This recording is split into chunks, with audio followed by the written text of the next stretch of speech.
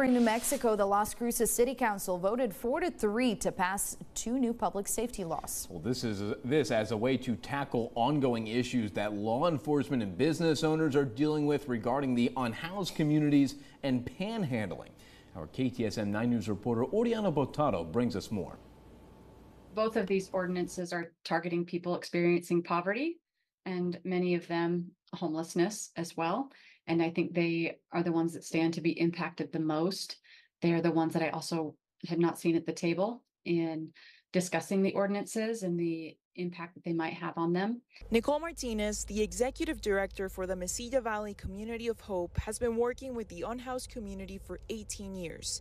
She says the two ordinances that were passed will not help improve public safety. If anything, they will make things worse. So it's going to just really impact things in terms of how people are carrying things, but it's not going to stop small business windows from being broken. Uh, it's not related to that part of crime that was the big outcry. Instead, this is a surface level ordinance to make it seem like something's being done. And the only thing that's being done is targeting people who have the least resources.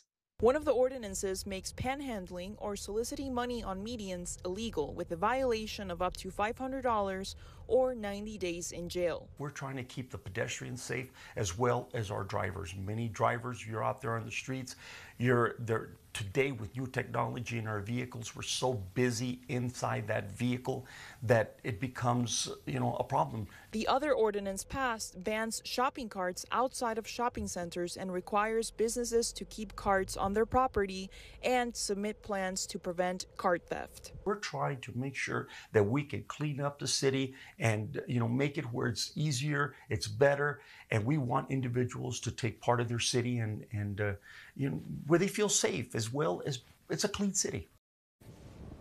Martinez says there are other ways to address this public safety issue. One of them being their hand-by-hand neighbor pro labor program, I should say, where crews respond to areas with abandoned shopping carts, helping not only the unhoused communities but also businesses.